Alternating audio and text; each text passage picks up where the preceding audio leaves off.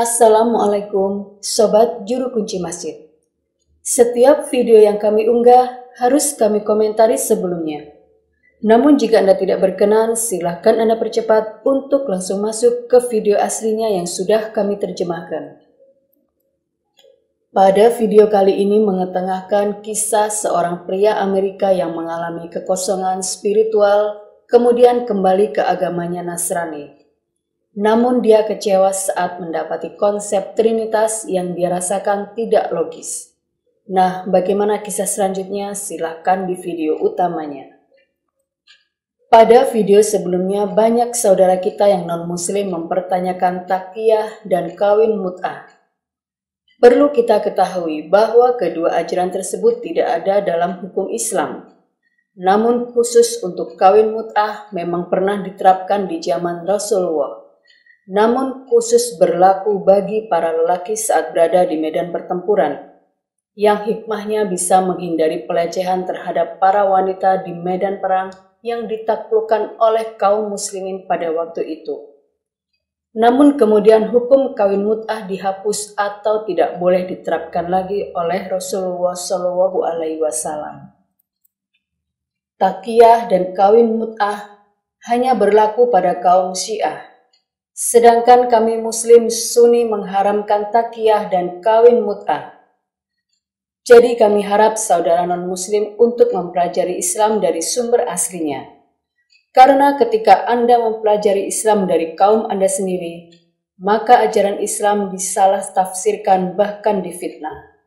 Kemudian kami juga berharap saudara Nasrani mempelajari ajaran Nasrani dari sumber aslinya sendiri, yakni dari kitab Bible yang tidak ada satupun ayat yang secara tegas dan jelas menyuruh mengakui Yesus sebagai Tuhan dan menyuruh untuk menyembahnya, sekali secara tegas dan jelas. Nah sekarang mari kita ikuti video utamanya, semoga bermanfaat.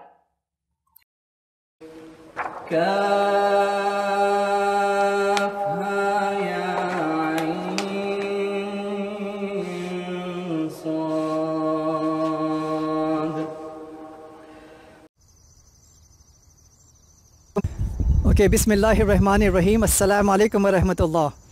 My dear Muslim brothers and sisters, Alhamdulillah, next to me is Brother Dawood.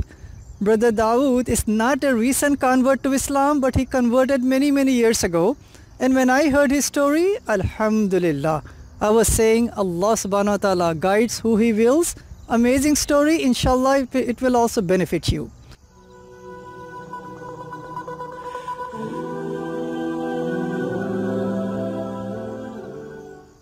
Brother Dawood, why don't you introduce yourself and especially mention that when did you took your Shahada? Sure. Bismillah ar-Rahman ar-Rahim. Assalamu My name is Dawood. Uh, I converted to Islam about 17 years ago uh, in 2003. MashaAllah. So you were a teenager? I was. I was, uh, I was a junior in high school. I was 17 years old. You know, when I heard you your story that you were so young when you converted or reverted to Islam, as we say, the very first question that came to my mind is that young people, even older people, there are so many temptations. You have the girlfriend boyfriend situation, drugs, social media, so many things that are distracting us from spirituality, about from Islam, from God. So a young man of that age, what made you to come to spirituality and then to Islam? Sure, that's a great question. So for me, there really was a spiritual vacuum. Um, I was definitely looking to lead a more spiritual life, to reconnect to God, and I started doing that through our confirmation program in church. Um, and while doing so, I learned all about the Trinity, and then came to the point where I realized that that concept didn't exist in the in the Bible, and I was looking for a church really where they worshipped God alone. Okay, so when you had the confirmation, and you had some questions about Trinity, mm-hmm. and then you asked someone about it, and then what was the reaction? Sure, yeah. So you know, after we studied that in confirmation, they really highlighted this as a core aspect of our faith and our salvation. And I asked them really to point me back to just a single verse in the Bible or a logical construct I could use. Um, and they said, you know, it doesn't really exist, but you've just got to have blind faith. So that was really my core question to the preacher and every preacher at every church I went to. And surprisingly, I had a very similar trend of thought that, you know, it's just something you have to accept. Well, if I were in your situation, my reaction would exactly be the similar. If this is the main concept in which the theology of Christianity is based, how can it be just a mystery? How can it be not evidential from the Bible? Right? I mean, didn't you, you had the same reaction, I guess. Exactly right. So um, I, I probably went to six or seven different churches over the course of six months and had the same question.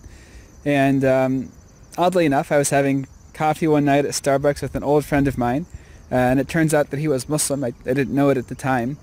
And I raised the same question to him. I asked him about the Trinity and what they thought about God, and he told me that Muslims worship God alone, that you believe in all of the revealed texts, including the Psalm of David, the Torah, and the Bible, that you believed in all of the prophets, all the way up to the final prophet Muhammad um, the angels, the day of judgment, and the divine pre-decree. And it was really exactly what I was looking for in Christianity. MashaAllah. You know, when it comes to Trinity, I mean, obviously, there is no passage in the Bible that says that God is one in three persons and Jesus is God, Holy Spirit, along with Father. Mm-hmm. But obviously, you may know, and the Christian brothers and sisters, they may also know that every single prophet, every single messenger in the Old Testament and also from the lips of Jesus, they all preach the absolute oneness of God. You may know this from your previous uh, faith, correct? Maybe two references we can provide. One would be from the Old Testament in the book of Exodus, chapter 20, verse number 3. This is where the Ten Commandments start. Exodus chapter 20, verse number 3. God says, or the Bible says, that do not take any other God besides me. So it's an absolute monotheism that every single prophet, they preached and invited their, their people to believe in. You know, even Jesus, peace be upon him, when a person came to ask him a question, a million dollar question, of all the commandments, which one is the first, the greatest of all the commandments? This is in Mark chapter 12, verse number 29. What do you think Jesus may have said? Probably something along the lines of know that he is the Lord your God, so worship him with all your heart. Right, means God, right? Not Jesus, correct? Yeah. So yes, so, so the question was of all the commandments and the Jewish people used to have 613 commandments. And this person wants to know of all of them, which one is the first, the greatest of all of them. And Jesus, peace be upon him, in the Gospel of Mark, chapter number 12, verse number 29 says, Hear, O Israel, the Lord our God is only one. Worship Him, right? Not worship me, not worship someone else. Worship Him with all your heart, mind, soul, and strength. So, what was the reaction, Brother Dawood, when you went to your parents? I mean, obviously, you were living with your parents as a teenager, right? What was their reaction once they found out that our son now have converted to Islam? What did they react? How did they react it? So you've got to put it in context a little bit too. So this is two years after 9/11. Oh, okay. Uh, I'm a junior in high school, and I go home and tell my parents I completely want to change my way of life and our faith. Uh, and so my, my dad's initial reaction was socially be easier for him if I decided to become gay. Right, he could tell his coworkers at work a little more easily that way. Uh, and secondly, then that I was grounded. Um, they were going to sell my car, ask me to leave the house, and, and, not pay for me to go to college. That was so wait, that was wait. round one. So so he mentioned that you should that they wanted to kick you out? Yeah, that was the initial threat, yeah. I see, I see. And then what happened then with your parents? So being grounded, I, I secretly started, you know, reading more and more online, and, and the more I learned, both intellectually and intuitively, just really led me back to the fact that this was the one way that God intended us to worship Him. And Ramadan came around a few months later, and I hadn't fully entered the faith, and I decided to try fasting. And you know, I didn't know about the big fancy dinners you have at night, the iftars, the suhoors, and so I was genuinely hungry. I lost about seven or eight pounds in a month, and it was the first time I'd given up something and sacrificed something for God, and I really felt faith for the first time. MashaAllah. So uh, I, I, secretly, you know, I was looking at how I could do this in, in a way that would keep my family happy, etc., and ended up leaving high school on a Friday afternoon and went to the mosque uh, right after Jummah and I took the Shahada. MashaAllah. And so I started praying in my room. I had a small booklet. I started learning how to pray. And about six months later, my, my dad barged in and opened the door as I was praying once. and they, they hadn't known that I'd become Muslim, and, and you know, they were really upset at first, but then they, they stepped back and said, you know, you've really become a much better son. You have fantastic manners. You, you really help us out around the house. You're, you're a great sibling. You're a great neighbor. And, you know, although this isn't a way of life we would have chosen for you, you know, we accept it. That's a really profound lesson and a profound advice that you can perhaps give. And I always say this to my fellow new Muslim brothers and sisters. They always ask the question, how can we have a positive impact about Islam to our parents and families? It is by becoming the best son, the best daughters, the best family members, the best parents, because that's what Islam has taught us. Islam has to have a profound change, positive change in us. And once our parents, when once they see this positive change, they may be thinking, you know what, uh, maybe there is something about Islam that had this transformation in my son, in my daughter. And that will spark in them some inspiration, some motivation for them to study Islam. So how do they feel now? This has been what 17 years now? Long time has passed. Are they coming closer to Islam or neutral? Where do they stand now? So I always try to look at things as a, a spectrum, and I think certainly, you know, year in year out, they're getting much closer. And you know, with close family members, I really advise everyone just to be the best son or daughter you can mention, as, as Sheikh Sabil mentioned. It's really, really critical. Um, our actions speak louder than our words. So through trying to be a good son, trying to be a good husband, a good father to our, our three children, my parents have really come a lot closer, and they see how you behave day in and day out, and that's had the biggest impact. MashaAllah, right? There are many of our fellow non-Muslim brothers and sisters who may be watching this video and who may be thinking about, you know, Islam. They may have misconceptions. What advice that you would give to our brothers and sisters from other faiths that why they should look into Islam? What would you say? Promise all, promises us all in uh, Surah chapter 64. He says, Whosoever truly believes in Allah and God, that God will guide their hearts. So if you believe that you have that true faith, then you owe it to yourself to at least learn about Islam. Ask a Muslim, ask someone who has some real knowledge about Islam, uh, and try to find out what it's all about. Parents are still not yet Muslims, inshallah one day. And I'm going to have each single one of the viewers to pray for Brother Dawood's parents and his family and all the non-Muslim brothers and sisters out there.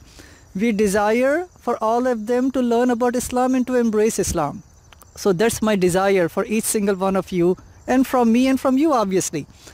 Allah has honored you and we pray that may Allah preserve your faith and the faith of all of us and make it easy for you especially so you can become the best son and keep on sharing the message of Islam with your parents and of all of humanity. With that, Jazakallah khairan. Assalamu alaikum wa rahmatullah.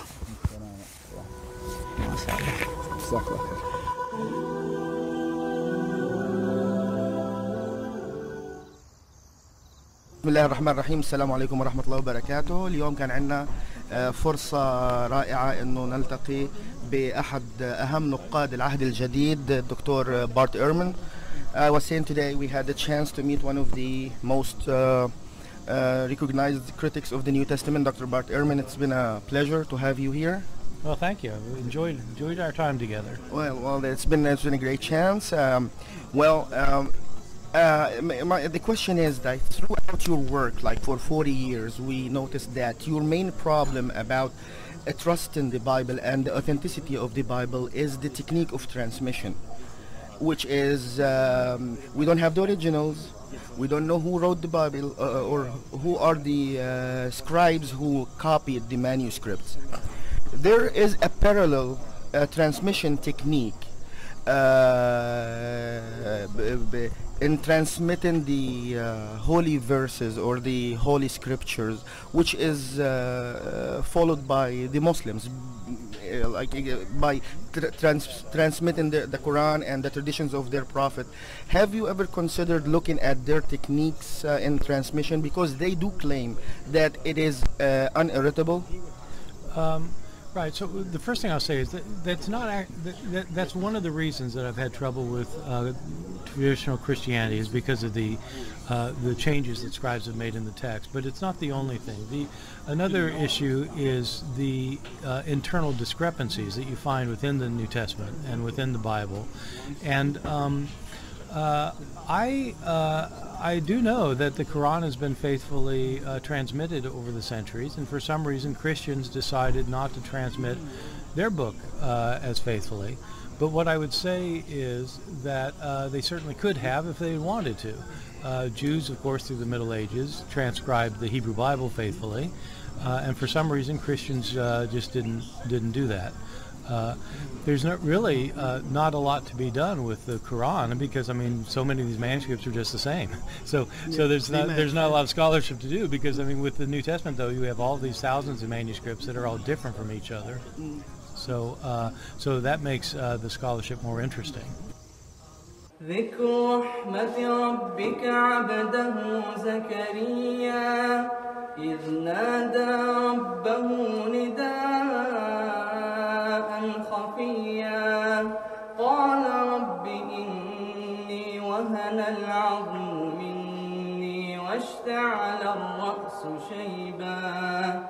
ولم أكن بدعائك رب شقيا.